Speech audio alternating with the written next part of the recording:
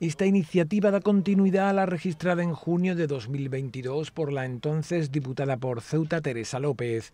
En este sentido, Vox denuncia ahora que el Reino de Marruecos viene desarrollando una serie de acciones cuyo objetivo es el de incorporar Ceuta y Melilla a su territorio junto con los peñones e islas de soberanía española. Un ejemplo de ello, según Vox, es el asalto que sufrió Ceuta en 2021 por parte de 10.000 personas con la quiescencia, sino la complicidad de las autoridades marroquíes.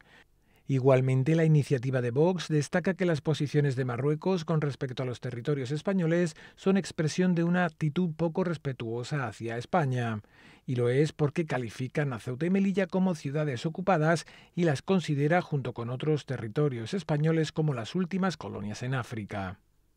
Por todo ello y ante lo que Vox considera como ataques a la soberanía nacional, su grupo parlamentario en el Congreso exige al Gobierno que adopte con carácter urgente las medidas necesarias para proteger la soberanía nacional y la integridad de la nación, y en particular de las ciudades españolas en Ceuta y Melilla y del resto de plazas de soberanía española.